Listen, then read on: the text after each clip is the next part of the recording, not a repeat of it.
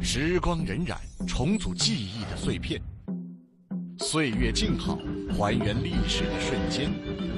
此去经年，用记忆雕刻时光。一九三七年，一首《天涯歌女》让观众记住了英俊帅气的赵丹和年仅十七岁的周璇。然而，谁也没有想到的是，两人的首次合作却也成为了唯一的一次。小仙子，唱个歌给我们听听。是什么原因让周璇时隔二十年的演唱成为了绝唱？又是什么过往令赵丹听到情深处再次牵起周璇的手？不变的天涯歌女，交结了两人一生的命运。往事温暖岁月，记忆雕刻时光。欢迎收看《北京记忆》，我是孙宇。大家刚才在片子当中听到的周璇演唱的《天涯歌女》，是她最后一次唱这首歌。至今，人们对她的去世一直有很多的猜测和传说。今天呢，我们专门请来了赵丹的女儿赵青女士，还有周璇的小儿子周伟先生，一起来讲述这两位曾经的银幕巨星的背后的故事。让我们用掌声欢迎两位。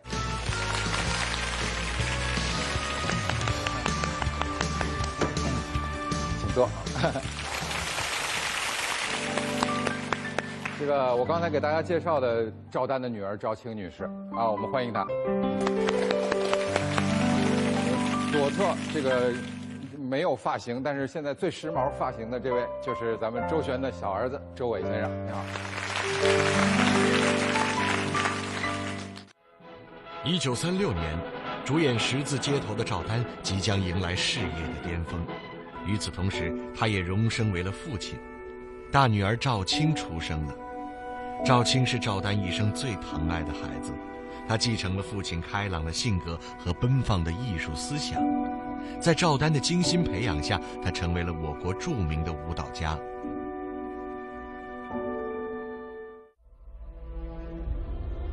一九五零年的秋天，赵丹又多了一个孩子，周民。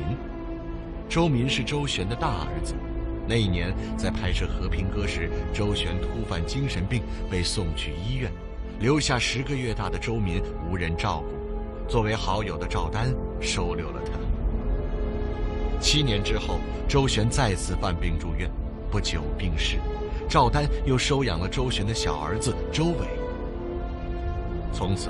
这两位在当时处于风口浪尖的巨星，有了剪不断的关系。赵丹先生是非常宠爱您的，您是他的这个小小公主，在家里面你们怎么称呼的？呃，我叫我父亲叫 Daddy。哦。嗯。嗯。他们叫我叫阿囡。阿囡。叫 Daddy 就这种洋范儿的叫法的家庭很少的，呃，当时你们家很自然。您这样一叫叫了就一辈子，一直没改过，对吧？没改过。您叫他一直就这么叫。就叫 Daddy 啊。说您爸爸还叫过您姐姐，这是怎么回事啊？那是在一九五九年啊，呃，国庆十周年，嗯，就是整个都电影界都在拍摄电影，就献礼片。他呢就拍完了林则徐，接着拍聂耳。我呢很有幸的。被选选入这个行列，就拍我这个主演的第一部大型民族民族舞剧《宝莲灯》，从山底下伸出来的镜头，跟儿子相会的。那么那天呢，布景什么灯光全打好了，最后导演上来跟我再说戏，就是这个跟儿子见面的时候这个心里，正说着说着，帮摄影棚的那个大门扒开，一个人进来了，梳个分头，完了穿个。浅灰呃浅咖啡色的小夹克，穿个蓝色的工装裤，呱嗒呱嗒的走到台前，姐姐姐姐这叫姐姐。嗯，导演心想谁那么回头一看，是阿丹，大伙就笑了。啊啊！导演说停停停停停，暂停暂停，休息十分钟。啊，正拍着呢。这拍还没拍，马上要拍。电那个铃都打响了。走位置无所谓哎，对吧？停停停停停，我说谁叫我？我就走下来一看，是我爸爸。我太太，你死快死了，快快死快了吧？我说你，呃，就是啊，你这么乱叫，胡说八道的，走下来了，怎么怎么乱叫？他说你都三十母了，有儿子了，我女儿才十九岁，我当然得叫你姐姐。笑的哄堂大笑。刚才说到爸爸跟孩子们在就就玩在一起，打成一片，在我童年的印象当中是很深的。嗯，他只要一回来，这家里就热闹了，跟姐姐说的是一模一样。嗯，他可以把周围所有的人都点燃，哎，跟他一起玩，跟他一起疯，哎，他经常给我们做的一个节目是什么呢？他扮演大灰狼。怎么个扮演大灰狼呢？啊，上海有一种帽子，我们叫叫盖莱帽，就上面有一个小小叫叫啾啾这么一个帽子。他回来以后呢，就把这个帽子呢稍微往后拉一点，嗯，然后把他那个大围巾啊拖在后边，嗯，然后呢他就扮演大灰狼，让我们呢扮演那个小绵羊，然后呢他要一个个抓我们，然后就追啊追，说家里就就是就是就乱成一锅粥，哎，就就很开心，孩子们就喜欢玩嘛，嗯，这是我们给我们带来童年的一种。永不磨灭的一种乐趣和欢乐，嗯，这是一个很合格的爸爸，很让人怀念的一个爸爸。嗯嗯。你们都在这个赵丹先生家里的时候，都在自己家里的时候，呃，赵赵女士，您对他有印象吗？我是五九年回到上海以后。一家说姐姐回来了，全孩子们都出来了，就给我介绍，这就是这个周明的弟弟周伟啊，又黑又瘦又小，呃，叫姐姐，哆啰哆嗦的姐姐，比较拘谨，因为五九年的时候，呃，我刚好刚好到赵家，是。嗯，小屁孩吗？这又小 又瘦。最边上那个。最边上那个。这个周明是他哥哥。是我哥哥周明。红领巾这个周明。对，很很可爱。嗯。这还有一个小小小不点儿。这是我阿左呃第第二个弟弟。哦。那个小赵菊是我的妹妹。嗯。还有一个最小小弟叫赵静。哦。我还有一个我的弟弟亲弟弟。哦。叫赵毛，也在上海。哦。等于六个孩子在上海，我一个人在北京。嗯。一共是七个孩子。嗯。这个赵老师家那很热闹，热闹可以够开个幼儿园了，这对对是吧？这是周璇留下的最后一段影像资料。一九五七年，经过近六年的治疗，周璇醒了，他发表了这样一封公开信：“亲爱的观众，我的病已经好了，快要出院了，快要工作了，我一定在党的培养下好好的拍电影。”来感谢观众们对我的热爱。六月十八日，周璇再次见到了阔别已久的赵丹，这是在赵丹家聚会的画面。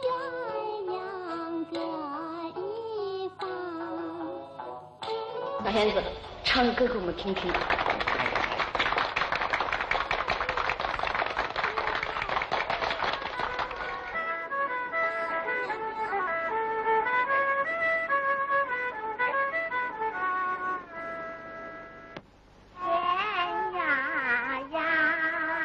再次唱起这首《天涯歌女》的时候，周璇感叹，她早已不是那个在窗口蹦蹦跳跳、一脸天真的小姑娘，而赵丹也不完全是那个单纯快乐的阿丹了。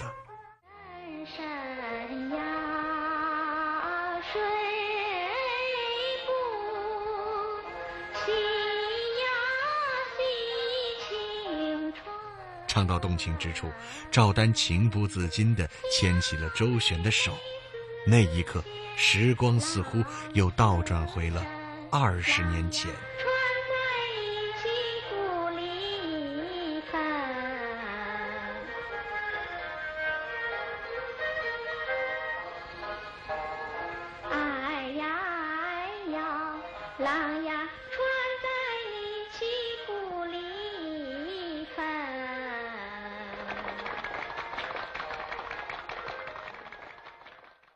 放了一个最早一次采访，呃，周璇女士，当时您父亲也在，呃，那个那个场景拍摄场景好像就是在您家拍的，在我们家，对，呃，你看这不是上官阿姨吗？上官是，这陈歌辛，一江春水向东流啊，上官云珠演过很多黄晨阿姨，这是黄晨，这是郑经理伯伯，哦，影视界的名人，对对，他们也来。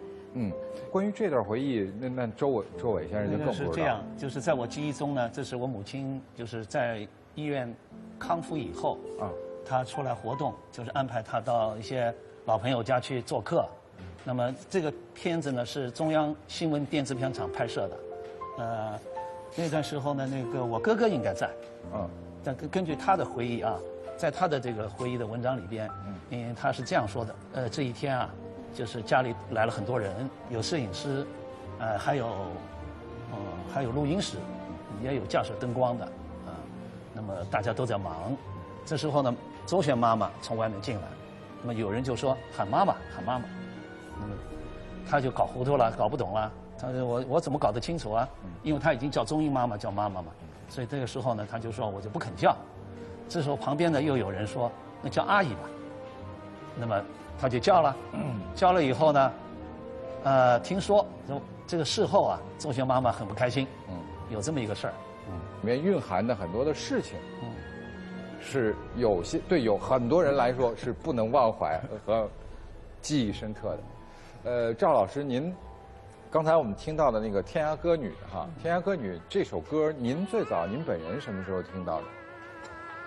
那我很小的时候就能听到了。嗯。呃，看马路时的电影也听到录音都有，很流行的在当时。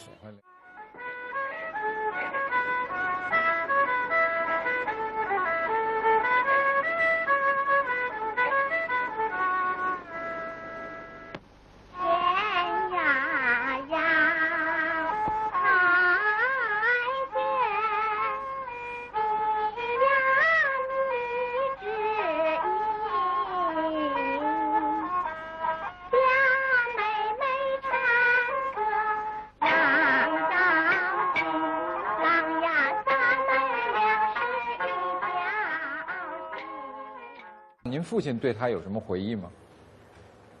我父亲一直非常怀念周旋阿姨，而且对他们这次合作，他是觉得是天作之合了。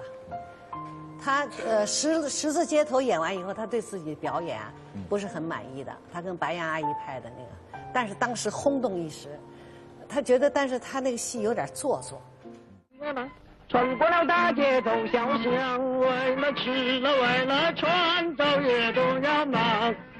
啦啦啦啦，啦啦啦啦，没有钱也得吃晚饭，住间房，哪怕老板娘做的怪模样。啷啷啷哩个啷哩个啷哩个啷哩个啷。但是到了马路天使，他说简直是，就是电影，就是生活一样。他自己觉得是一个很成功的现实主义的表演的一个代表作。嗯那么整个的，因为他就是因为那个导演了不起，叫袁牧之的，是个大导演，所有的演员就挑的非常准确。当时这个因为十字街都很红嘛，下一个片子应该还是赵丹、白杨嘛，他们想当然的觉得这个戏里那个小红应该是白杨演，结果没有，白杨去换了一个这个当时在电影厂并不是很有名的周璇阿姨。那时候才十六岁，他第一次见她的时候啊，小姑娘，头老低着，老羞答答的。这个导演问他什么事儿，他都低头笑眯眯的。然后问他有什么意见，一不好意思，嗖自己溜出片场了。后来他们的人同事们都觉得，这人能演好这个角色吗？后来我父亲拍片的时候，第一次哎 害羞呢，还不懂还怯场，小姑娘。结果那天我爸爸拍片子，正是开拍那天，他来了。他进电影厂的时候，嘚儿一颗玻璃球打到他脚底下。嗯。他捡起来一看，这谁打的？回头一看，就在那个荧屏后的幕后啊，周璇跟一个管道具的小孩在地上玩玻璃球呢。我爸爸说，完全是弄堂里的小小嫩，就是。北京话叫里弄里的，里弄里的小孩，胡同里的小孩，胡同胡同里小孩，上海叫小嫩，小嫩，弄堂里小嫩，上海话小嫩。哎，就那天正好拍《天涯歌女》，唱那段歌，啊。就导演就给周星阿姨讲戏，讲的就说你一边唱啊，从楼上下来，用个手绢把这个辫子缠着缠着的，一边唱很自然的。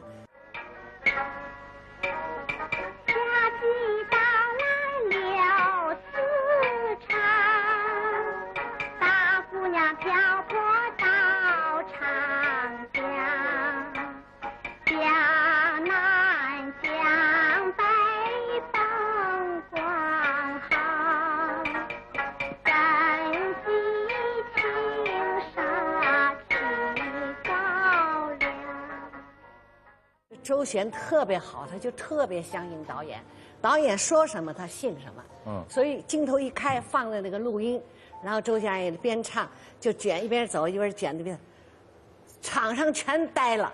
嗯。我爸爸说：“哎呀，这就是小红啊！嗯，就是那个角色。嗯。而且从来。”演的那么好，把老爷子镇住了。他说简直是个天才。旁边是魏鹤龄，魏鹤龄大家应该老同志老老头子应该知道。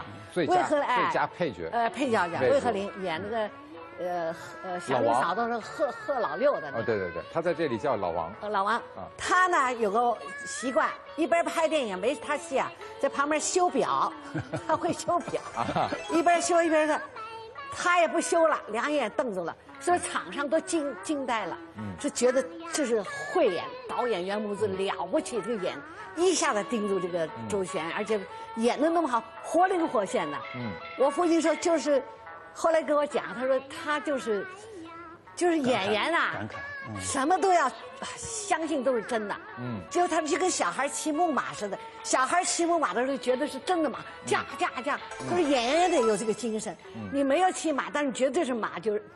要信信相信这一切，所以导演给他讲的这一切，他每一个镜头他都是这么演。嗯，哎呀，他简直个天才，将来简直了不起。所以周旋这个戏以后一炮打红啊。嗯。小红，好了好了，小红，我对不起你，小红，你原谅我好吧，小红。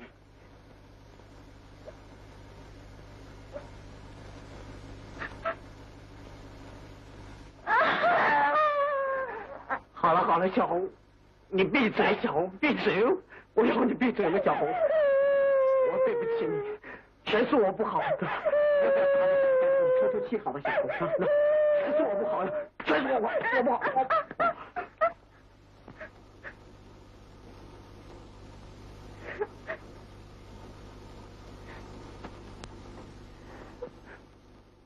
呃，这电影一下让俩人都红了。那就像现在一样，其实没什么区别。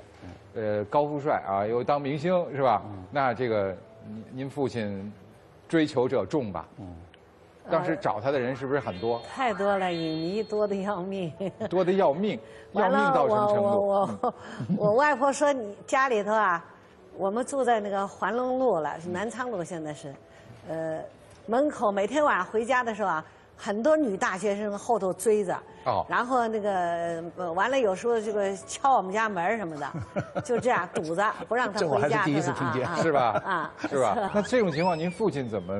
那我们我父亲，我父亲说我最专一了，我就专一你的母亲，他说别人我都看不上。男万人迷咱们说完了哈，咱说女万人迷，这女万人迷当时。是不是也追求这种啊？有放在家门口送送鲜花的这种情况。嗯嗯。然后呢，然后然后妈妈没有办法了呢，就在门口写一个，就是就是身体不适啊，谢绝啊，这个什么就表示一个歉意，就是在门口写一个，就是勿请勿打扰，身体不太好。嗯。那么向各位观众啊，向各位表示一下感谢，自己有这样的一个情况。嗯。有没有这个影迷这个希望？赵丹和周璇，哎，他们俩人要是在一起就好了。有有没有这样的记载？当时，先先听我姐姐说啊，这种事儿挺多的，人家还怀疑他们俩还有一腿呢。那么说，是吧？尽管影迷们有这样的心愿，但是这对银幕上的金童玉女在现实生活中并没有走到一起，而是分别经历着婚姻带来的甜蜜与波折。一九三六年。周璇与相恋多年的作曲家严华订婚，两年后完婚。当时的周璇年仅十八岁。同一年，赵丹也与一见钟情的话剧演员叶露西结为夫妻。他是一九三六年啊，三六年结婚的。您父亲？对。啊，也就是您的母亲嘛？对，跟我生母叶露西。叶露西。啊。我妈妈一下子给他吸引了，一见钟情了。嗯。我妈妈。呃，非常漂亮，嗯，甜极了。咱们看照片。哎呀，这张还没完全有点模糊。这张有点模糊啊。这中间的小娃娃就是你。就是我。就是您。然后呢，说话声音啊，非常嗲嗲里嗲气的，嗯，声音的尖呐，我都觉得很难，一般人能这么说话。您是在说您妈呢吗？说我妈，哎，又嗲又漂亮又这个甜啊，那个甜美，哎，甜美，而且我爸一下子就看到了，而且他是广东人，嗯，是广东人，哎，然后那个演戏也很很出众，嗯，就一见钟情，就他这这就是缘分啊，嗯，我外公是个大夫，嗯。医生很有名的医生，正好外公那时候病危了，这个就快病危了，就要输血。那个我妈妈就是勇敢的去输血去了，给我外公输血。那时候输血在一间房子里，他从这儿抽，然后那血完了就送到我外公的送到外公的那个血管里头。我爸爸在旁边看，不当然陪着他了，他感动的不了。这个他说太善良了，用自己的生命，啊，生命在换取。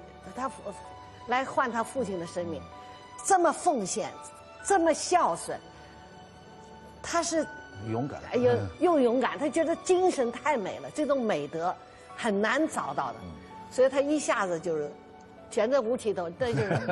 本来就喜欢，本来就喜欢，加上这个，这姑娘还善良，哎哎，还勇敢，勇敢，嗯，他不可别人，任何人在他眼里无。无法取代，所以火山就爆发啊！爆发啊！据说当时您您您父亲跟您母亲结婚，也是一件非常这个轰动的。轰轰动一时的事情啊！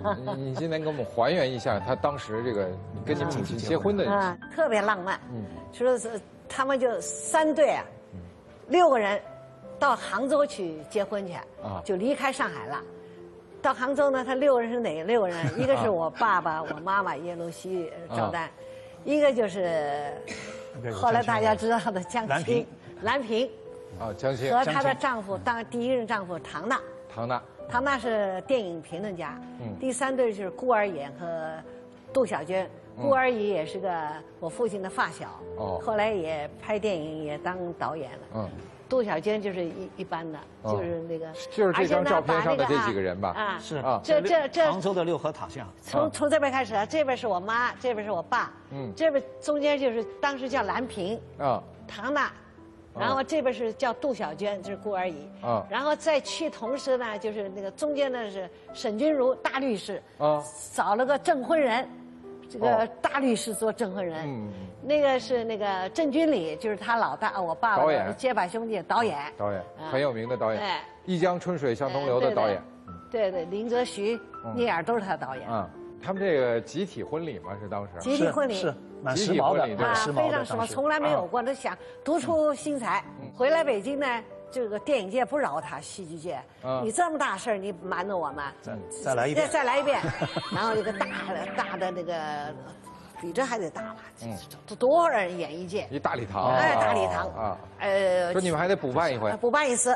大伙儿说这个六个人，呃呃，这个新人谁谁谁又报结婚，后来金山就哇一叫，不对，七个人，怎么七个人啊？嗯。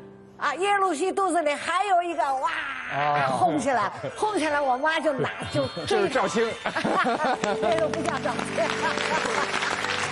就追他，满场追，我妈妈不小心叭一下把一盆糖果叭摔地上。了，啊，结果爷爷是很那个，当时就是很迷信了，就说啊，完了完了，他说这个人六个人全完了，结果果然是。爸妈妈离婚，那个唐娜、蓝萍也离婚，呃，他们俩都没有，就是杜小佳阿姨早死了，很惨的。最后六个人就这么个下场。最后怎么分开的呢？您赵丹怎么跟您母亲分开的？这是人间悲剧了。抗日战争，我一抗日战争一爆发，一九三三七年嘛，卢沟桥事变，然后我爸爸他们这些很进步的，一直在咱们地下党领导下，参加左翼联盟。然后由那个左翼联盟的联领导他们组织了十二个演出队到大后方去宣传抗日救国。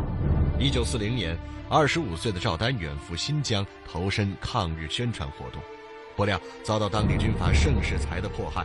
盛世才制造了“四一二”阴谋暴动案，先后逮捕了实验剧团的主要演员，这其中也包括赵丹。这一关，便是五年。进去以后就是，那是什么酷刑都。我后来问我父亲，他不太讲，他说这个老虎凳、什么辣椒水都是很很正常的，就是各种酷刑。然后一关关了五年多，这这当中呢，他们都带了妻子。我妈妈跟我父亲在重庆又生了我弟弟，有赵毛，我的亲弟弟，带着我弟弟四处求援，希望能够把这个我父亲他们从监，因为是冤枉的，他连共产党都不是，怎么变成托派呢？后来就是连，后来传出来说我爸爸在这些人所有人都枪毙了，没有一个人活着了。完了，周总理、杨汉生、金山他们在重庆开大型的追悼会为他们。他们五五个人嘛，呃，一列在监狱里死了，就作曲的很年轻的作曲家，真是四个人回来，回来以后四个人的老婆全离婚全嫁人了，没离婚全改嫁了，一一下飞机，自己亲人都没了，很惨呐。完了就是我爸爸非常痛苦，就就找小叶叶露西，露西你上哪去了？后说他经常就到郊外子啊。可想而知，可想而知，撕心裂肺啊！撕心喊的这就就震天的喊，就是哭天抢地，哭天的。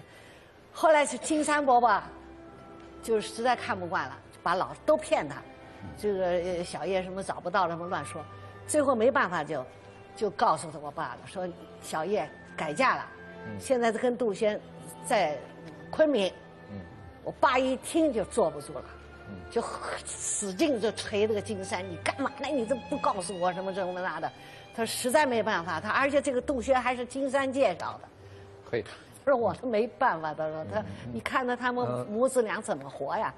后来我爸爸不管了，自己就坐火车，所以到了他我我母亲喜欢那个白玫瑰花，我父亲捧的白玫瑰花，而且杜轩也知道他要来了，杜轩就跟我母亲说，你自己选择吧。进去以后呢，他他看我母亲还是那么甜那么美，肚子大了，他马上知道他怀了那个杜轩的孩子。我爸爸真的控制不住了，他说我简直控制不住，说我就一下子跪在我你妈的脚底下，抱着她的腿，说露西你，你把肚子里孩子打掉，跟我回去，我需要你。后他说你妈，我真没想到你妈这么矜持。这么冷静，嗯，完了说阿丹，这个一个家庭已经破坏了，不要再破坏另外一个家庭。然后他你还年轻，你还可以再成立一个家庭。就这么离开了母亲，然后我我的弟弟也在孤儿院里待着呢。然后我去还才讲到孤儿院里去领我弟弟，根本认不出来了，脏的一身疥疮，什么孩子。后来我爸爸记得我弟弟那个左耳朵这有颗大痣，所以很惨的。然后我爸就拿手绢拿着舔了，拿唾沫舔了。所有小孩过来，看看左边没有。最后掏到最后一个，又脏，满身疥疮的，一涂一颗痣，就是我弟弟。哎呀，苗子，他就是我弟弟，小名叫苗子。苗子也不懂，是他爸爸。我妈咪呢？我们的爸爸妈妈讲。没法说了，就妈咪，妈咪有事儿来不了，我爸爸就带着我我的弟弟回到上海来接我。一九四五年的春天，赵丹和叶鲁西轰轰烈烈的爱情却走到了尽头。一九四七年，赵丹在拍摄《幸福狂想曲》时结识了黄宗英。啊啊啊！我跟经理说好了。谁来的电话？啊，是胡先生打来的。呃，侯先生。关于房子的事情啊，哎呀，房子的事情我们老爷说过了，房子一定要顶的，大家都得搬呢。你听我说，听我说啊，这个顶不顶你们房子那是另外一回事情，可是你们要我们搬家，小英啊，我进来。哎，哎，侯先生，这个道理。影片拍摄结束后，赵丹对黄宗英说：“我不能与你分开，你必须做我的妻子。”这个他第二次婚姻的时候，据说您也介入了，是吧？您也投了庄严的一票，您这一票怎么投的？您跟我们说说。谈不上介入了，我他自己拍那个《幸福黄香曲》就认识了宗英妈妈。然后我父亲有一天突然就请我到那个上海西餐馆去，然后就挑我最爱吃的，嗯，这个罗宋汤，嗯，完了吃那个炸明虾，嗯，然后最后还叫个冰激凌，给我给我吃那么多好吃的，吃了半截，我爸就跟我说话了。嗯。他安内啊，我想给你娶一个新妈妈。嗯。我心想新妈妈，我就我也不说话。他这个妈妈长得像你。我说，我心想长得像我，长得像我当然好了。那那我就娶娶这个新妈妈啦。我就点头，我爸爸说说，眼泪都出来了。完了，掏出兜里的白手绢擦一擦。我我为了让我爸爸别不高兴，我说可以的，不是就长得像我吗？不挺好吗？就这样劝他呢。您那会儿八九岁。哎，对。八九岁的样子。八九岁就哎，然后后来他们结婚了，结婚就在那个上海徐家汇贫民区那儿。啊，要了个房子，我他跟周英妈妈，我弟弟跟他们住一起，嗯。然后我奶奶就带带我们过去，嗯。这个一块吃饭什么的，吃完以后我看完了，我爸爸就送我奶奶跟我出来以后，我跟我爸说，爹爹，我怎么觉得他一点都不像我？一九四七年，赵丹和黄宗英完婚，这是《马路天使》上映的第十个年头。赵丹早已不是那个在窗台前变着戏法敢爱敢恨的小伙子了。此时的赵丹已是而立之年，经历了两次婚姻。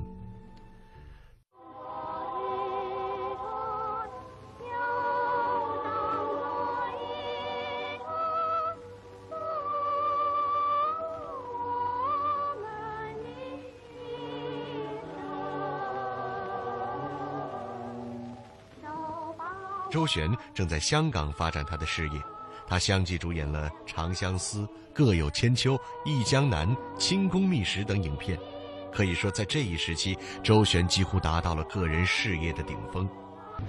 但和赵丹一样，周璇的感情生活却不如他的演艺生涯那么一片坦途。三段备受争议的婚姻，令不到三十岁的他身心俱疲。第一任丈夫叫严华，严华，嗯，哦，他们持续了大概四年时间吧，前后。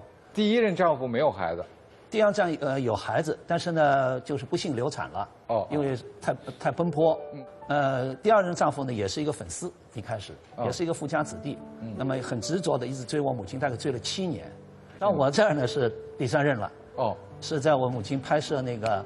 呃，那时已经已经解放了嘛，嗯，呃，拍摄第一部片子就解放以后的第一部片子叫《和平歌》，啊，里边我妈妈演那个一位护士，嗯，啊，我父亲呢给我给我妈妈呢就是画广告，嗯，就是这个片子呢需要画广告。当时的很多的电影宣传是因为没有那么多别的广告，就是靠油画，就是电影院门口哈，是。会来这么几大幅画，全部是大的布。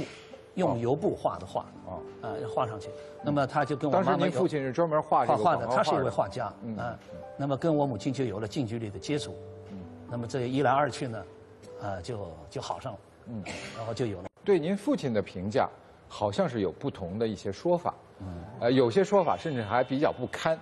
这个今天您本人正正主在这儿哈，您您有没有可能替您父亲说一些什么？啊，是这样，就是，之所以后来我母亲所遭受的一些不幸，那么它有几方面原因造成的，就是通过这些年来以后呢，很多东西呢逐渐的也就捋清了。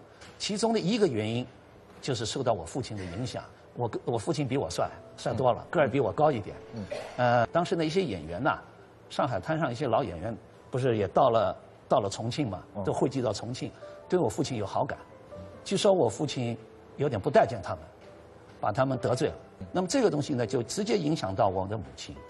那么为什么呢？因为他们心心想，你这么不待见我们演员，那就算了，OK。但是你不是怎么到了上海以后，你怎么对我们圈里的姐妹这么上心、这么上感？而且呢，呃，还有了我，那么他们就是群起而攻之，就是一认为你这个是，呃，他们就把他称为是应该是一个坏分子吧。您您父亲的名字叫堂弟，堂弟，堂弟。那么就群起而攻之，就把他认为是一个坏分子，呃，骗色骗钱，呃，来这个敲诈我们的姐妹。当然，同时，当然我父亲自己也有问题。当然，同时，当然我父亲自己也有问题。一个什么问题呢？他同时也在这个之前，在认识我母亲之前，他有一段有一段，呃，有一段有一段那个恋爱关系呢，他他有一个有一个相也有一个相好的，这个段关系他并没有并没有处理好。嗯，那么有那个脚踏两只船的这种感觉。那么这个从人民法院来认定呢，那么这是一个问题，所以倾向于这些姐妹们的这种说辞，给了我父亲这么一个。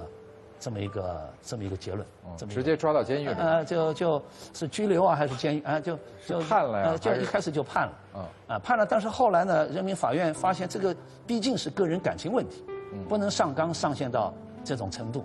那么在重新重审的时候呢，又把他放了。谢谢您的坦诚啊。呃，这段这段事儿呢，这个我们 我们今天在这儿啊，在我们北京记忆栏目算是有一个。比较比较规范的啊，比较系统的这样的一个一个说说明，一个说明。十年坎坷爱情路，周旋赵丹都已不再年轻，他们在同一时间开启了第一段婚姻，又在同一时间结束了第一段感情，甚至在同一时间找到了人生最后的伴侣。面对这些时间的巧合，我们不得不感叹二人的缘分。然而，这种缘分并没能延续。《马路天使》既是两人的首次合作，也成了唯一的一次。上海，上海，在很长的一段时间里，周璇消失了，没有人知道他到底是不是真的疯了，也没有人知道他现在身处何处。你母亲就一直被关起来了啊！这一直关呃，一直到四四年八个月以后，一直关着。他不是不是关着，他是名义上是去治病疗养了，对吧？实际上是被关起来了，就是没有人去管他。这中间你见过他吗？在这段时间，他在社会上消失了。我父亲也是在找我，带着我到处去找，一个一个一个医院去找，都是找不着。没有啊，没有。为什么呢？后来才知道，已经被改名了。嗯，就是改成周守贞啊，改的别的名字。金嗓子犹如人间蒸发一般，从银幕上彻底的消失了。直到有一名护士在查房时，无意间发现了他。这个这个护士姓汪，叫汪景凤，我们叫她胖阿姨，也是胖胖的。那么她在这个过程当中呢，呃，发现有一个病人很奇特，呃，披头散发，穿着一个蓝蓝袄、蓝夹克啊，这个蓝蓝布褂子，呃，这个两呃两脚。盘腿，这个坐在这个床床上，看着看着墙，面对着墙，就自自自己这么摇晃，就我完啦，我完了，我完了，就这么一直晃。那但是呢，虽然是这样一个病态的状态，好像也也也不打扮，也不梳洗，人显得很邋遢，但是仍然掩盖不住他这种俏丽的这种身影。他发现那么眼熟，而且他在记忆中搜寻，就是他所一直所。所崇拜、所敬爱的周璇女士，找到周璇之后，医院立即集合最强的专家阵容为周璇治疗。周璇在医院被发现，立即又成为了震惊全国的消息。周伟和父亲得知以后，立刻想尽一切办法再见周璇。而且我父亲，当然他这么一个身份是吧，就偷偷摸摸的。要像那个像做这个地下工作一样的，带我带我带我去见母亲。那个一进屋的时候，印印象比较深。那个地那个医院的这个他的所住的病房呢，地板呢是打蜡地板，嗯呃，很整洁很干净，床位三三两两不太多，那阳光很好。那么妈妈也是穿着她那个喜欢穿的那个蓝蓝布褂子，那个梳着短发，啊，人很干净很秀气。那么由于屋里很干净，我看她穿的，我很注意到她穿的那双布鞋啊，嗯，他就上床了，把被子一拉开，他一往那一靠，就这么拿手唤着我说儿啊儿啊，过来过来过来，那我就噔噔噔噔就跑过去了，嗯，跑过去然后他就剥糖给我吃啊，削苹果给我吃啊，是这样。然后呢有一次去呢还碰到他们吃午饭，嗯，吃午饭呢医生说行了别再淘气了，你在那边等着，然后我自己呢偷偷溜过去，就跟母亲在。就就他喝汤啊，吃饭的，我也想，也想掺和掺和。您的母亲，当时到底是一种病的状态，还是不病的状态？在在您研究了这么多资料，在你经过了这么多年的思考、追寻、探索之后，你给我们答案。你想一想，他可以在这么短的时间这种恢复，你反过来我们要问，那么他到底病的怎么样？在这之前是怎么一种状态？我认为这里面是很值得探究的。他这么好，很容易就好。你说他病得重吗？你也可以说他很重，没有人去管他。但是你要说他真的是精神病人吗？一个很大的问号。周伟先生，其实您的经历，您跟母亲那短暂的几个月时间的接触，尤其是在您那个还未成年、很小的情况下，您的每次的回忆，其实都能打动我本人。因为对于一个，就是母亲离自己很远，大家都特知道周璇是谁啊，金嗓子。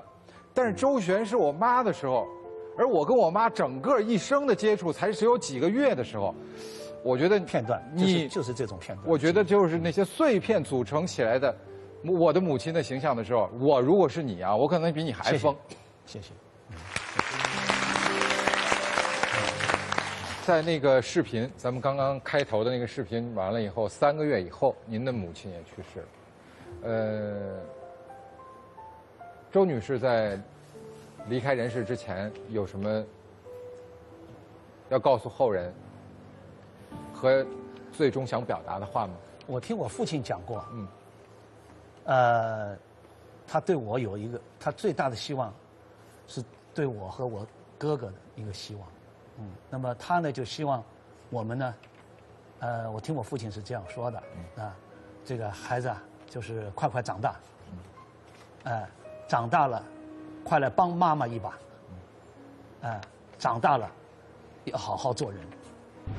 一九五七年九月二十二日，一代歌后金嗓子周璇突然病逝，赵丹带着周璇的大儿子周民参加了葬礼。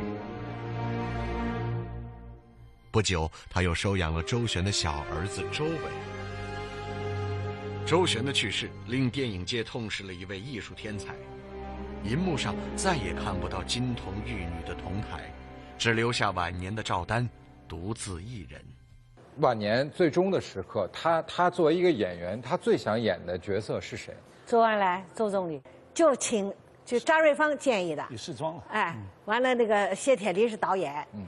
呃，当时厂长是汪洋，一直把我父亲从上海请到北京，然后请他演周恩来总理。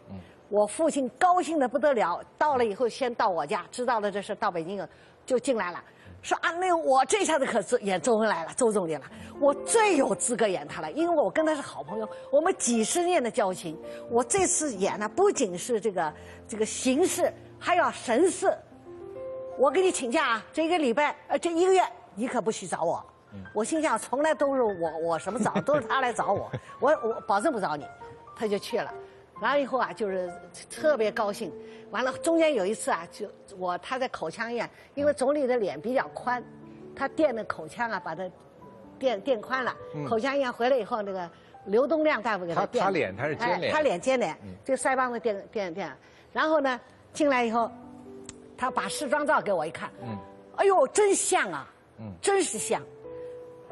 我他说他说他说，你知道这个邓颖超大姐把这个总理的这个所有的资料从西花厅搬到了电影北影厂招的时候，我每天看，而且每天都看他的这个样片纪录片。纪录片。哎，我天天从早到晚，我一定是不仅是形式，而且是神似，嗯，而且是我一定会演得很好。完了，我我说你把这个照片给我，那哪行啊？这个时装照。拜拜，我等我那个那个，哎，我等我你你你看我片子吧啊，再见，就走了。过些日子，梆一脚，把门推开了，到我家，脸全反了，不让我演周周总理了。我说怎么了？说的好好的就不让我演了。我说凭什么不让你演？说不出所以然，但是说这么几句话，说有一个领啊，有人领领导有一个领导说说。赵丹再怎么演，他太有名了，怎么演都是赵丹，人家不会相信他周总理。他还有更甚的，说我跟江青的关系到现在没弄清楚呢，这怎么会弄没弄清楚？整个是冤枉我呀，不让我演。我我的赵毛弟弟告诉我，他说爹爹因为演不成周总理，表面上你看他没什么，每天晚上蒙着头大哭，一落千丈情绪，积雨成疾。所以他最后是得了胰腺癌走的。这是最要命。嗯。就艺术家，如果没有艺术了，他的生命也就不存在。他的挚爱，他，呃，说过什么比较让您印象深刻的话吗？他最终的话，我觉得一直到现在都成了我的座右铭了。他说：“艺术家在任何时候，都不要给人添忧愁。嗯。艺术家在任何时候都要给人以真、以美、以幸福。”这是我留给我最宝贵的记忆。一九八零年十月十日，赵丹去世，追悼会上捧着他骨灰的正是周璇的儿子周民。如果用一句歌词来形容周璇跟赵丹的关系，那么《天涯歌女》可能是最为合适。天涯海角，无需多言，他们就是彼此密道的知音。直到今天，他们在银幕上留下的形象，给我们留下的歌声，依然会唤起人们的尊敬和喜爱。直到今天，我和呃姐姐，嗯，赵信的姐姐和周信的。这个儿子，我们坐在又又是又是最亲密的姐和姐弟之间，坐在一起，这也是一种历史的交集。是，是一种交集。说偶然也是必然。最荣幸的是我，就是可以联系起 左边和右边的这种交集。感谢两位，我们来合个影。您站中间，您站中间啊，您站中间。他是梨园行的泰斗，主演了中国第一部电影《定军山》。他是一百六十年前的北漂，能让慈禧无比垂青。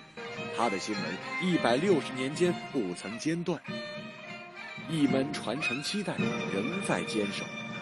临界大王谭鑫培，北京记忆为您讲述粉墨王侯的传奇人生。